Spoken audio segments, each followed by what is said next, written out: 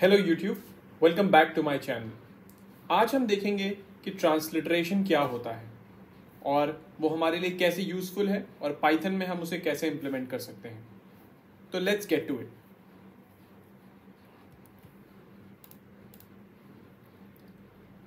so मैंने एक notebook prepare किया है जिसमें मैं ट्रांसलिटरेशन के बारे में बात कर रहा हूँ।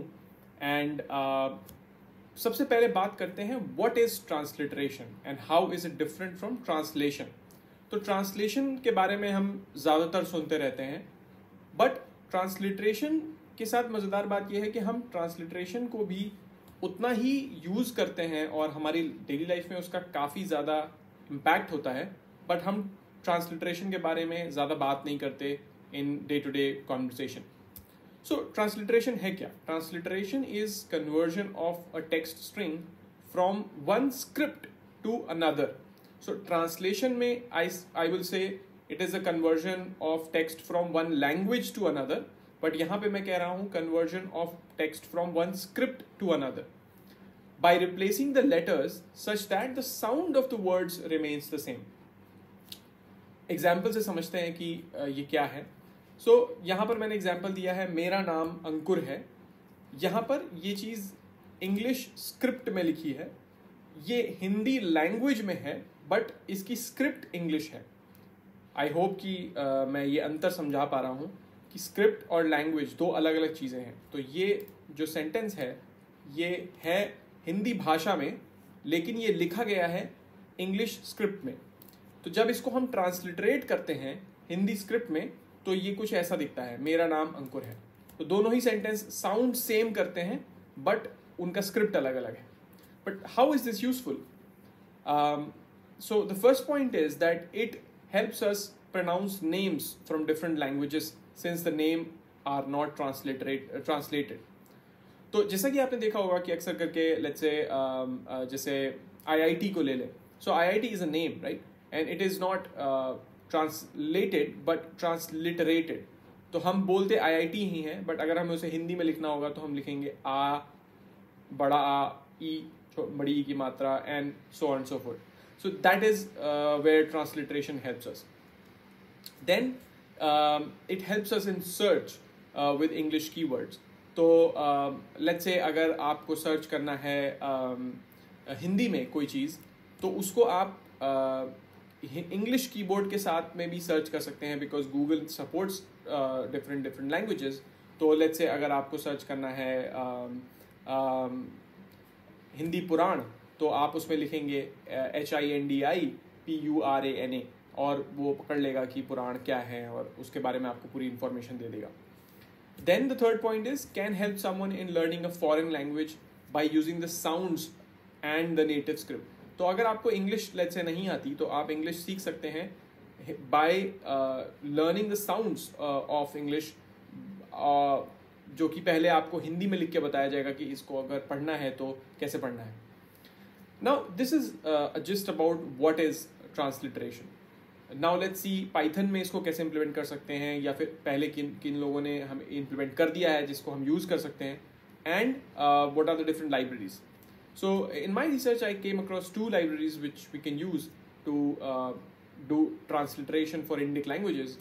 The first one is Indic transliteration and the second one is AI for Bharat का एक transliteration package है तो देखते हैं कि पहले Indic transliteration कैसे काम करता है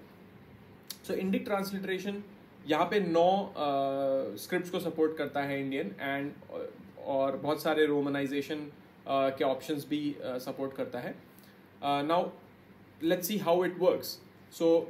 from Indic transliteration package, we have to import basically this Sanskrit uh, sub package and the transliterate and schemes uh, module. Now uh, the transliterate method is the method which we will call. तो let's say मैंने इसमें ये input दिया मेरा नाम अंकुर है and uh, मैंने उसको बताया कि uh, यहाँ पर इसका फ़ंक्शन डेफिनेशन है कि uh, uh, मैं इसको रन करता हूँ so, यहाँ पे इसका फ़ंक्शन डेफिनेशन है data then from which is the native which is the script of the source string and then to which is the script of the target script string तो मैंने इसको बताया कि ये आई ट्रांस स्क्रिप्ट से है और uh, हम इसको देवनागरी में ले जाना चाहते हैं। Now obviously we would some of you would not know कि आई ट्रांस क्या है या फिर एच के क्या है। And if you want me to make a detailed video on on this then please drop a comment on the video. Saying that you would like to see such videos coming forth. Now, um, itrans से हम देवनागरी में जाना चाहते हैं and when we uh, execute this function, it will uh, do this transliteration. But यहाँ पे हम देखेंगे कि uh, it is not hundred percent accurate तो यहाँ पे अंकुर के बाद उसने हलंत यहाँ पे लगा दिया which is actually correct on its part क्योंकि हमने उसको इनपुट वही दिया है सो so, यहाँ पे हमें जब हम एक rule based transliteration engine use करते हैं तो हमें जो स्क्रिप्ट हम यूज़ कर रहे हैं उसकी नॉलेज होना ज़रूरी है। तो यहाँ पे अगर मैं एक ए ऐड कर दूँ और फिर इसको ट्रांसलिट्रेट करूँ तो आउटपुट सही आएगा। Again this this like needs knowledge of what is ITRANS and different script तो उस पर हम डिटेल में फिर कभी बात करेंगे। लेट्स सी कि कैसे हम लेट्स uh, सी कितना टाइम लेता है ये फ़ंक्शन एग्जीक्यूट होने में। So if I use the time it method तो it is saying that 45.9 microseconds में इसने uh, पूरा इसको एग्जीक्यूट कर रहा है ऑन ऑन एन एवरेज ठीक है तो इसके कुछ प्रोज एंड कॉन्स समझ लेते हैं इस पैकेज के. ऑब्वियसली फास्टर कन्वर्जन क्योंकि ये पैकेज रूल बेस्ड पैकेज है ठीक है? Uh, ये पैकेज सपोर्ट करता है इंग्लिश टू इंडिक स्क्रिप्ट और वाइस वर्सा मतलब आप इंग्लिश से हिंदी भी ले जा सकते हो इंग्लिश से पंजाबी भी ले जा सकते हो पंजाबी से इंग्लिश भी ले जा सकते हो. And you can also convert between Indic script मतलब कि आप you can take from Bengali to Hindi Hindi to Punjabi and do all those things so ये काफ़ी एक कूल cool चीज़ है। बट इसके कुछ कॉन्स हैं। The first con is that it is a rule based again जो इसका फ़ायदा भी है नुकसान भी है क्योंकि रूल बेस्ड होने की वजह से आपको स्क्रिप्ट की नॉलेज होनी चाहिए when you are using it and it does not handle running typing style so let's say अगर मैं uh, यहाँ पर सेम फ़ंक्शन में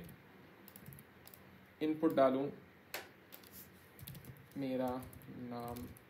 अंकुर है। सो लेट्स सी क्या आता है। तो यहाँ पे देखो कि मतलब मैंने रनिंग स्क्रिप्ट में लिख दिया तो यहाँ पे मेरा में राग के बाद आ की मात्रा गायब हो गई और हलंत काफ़ी सारे आ गए। तो ये एक प्रॉब्लम है।